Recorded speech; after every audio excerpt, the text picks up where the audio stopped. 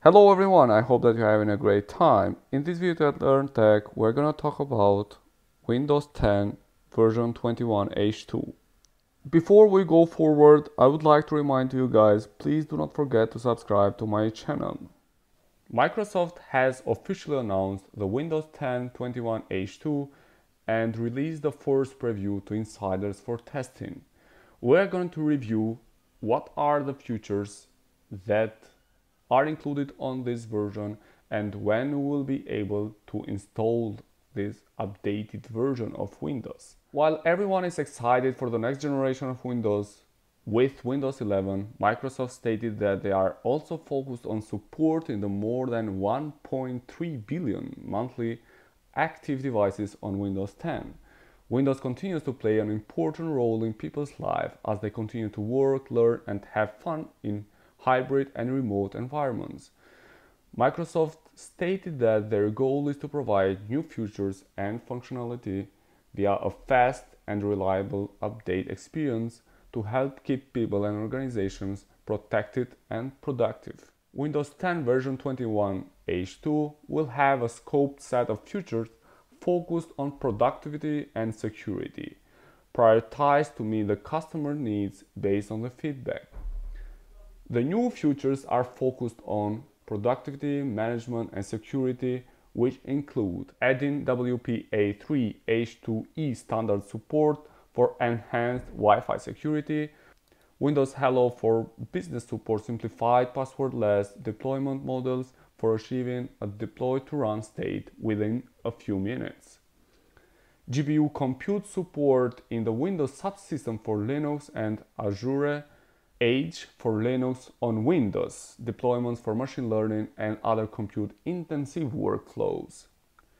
Given the continuation of increased PC engagement for remote and hybrid play, learning and work, Windows 10 will be delivered using servicing technology, which means like the normally monthly update process.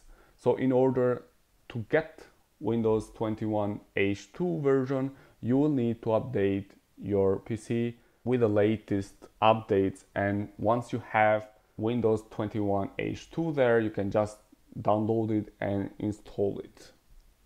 This Windows 10 release is targeted for the second half of 2021 and Home and Pro editions for of version 21 H2 will receive 18 months of servicing and Enterprise and Education editions will have 30 months of servicing and in addition Microsoft will launch the next version of Windows 10 long-term servicing channel based on version 21H2 at the same time and it will have 5 years of servicing as it had been announced in February.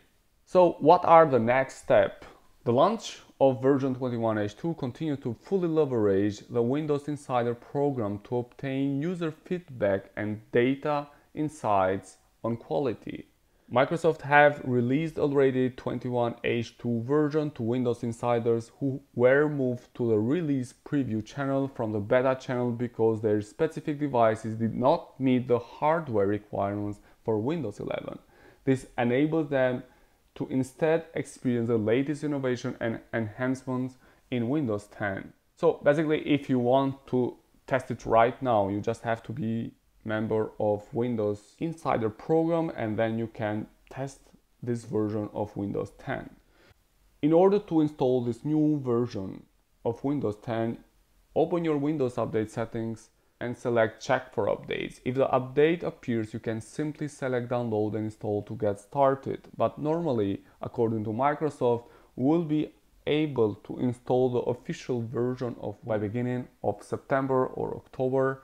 So basically we just have to wait till then and we should keep installing these updates that have been released recently from Microsoft.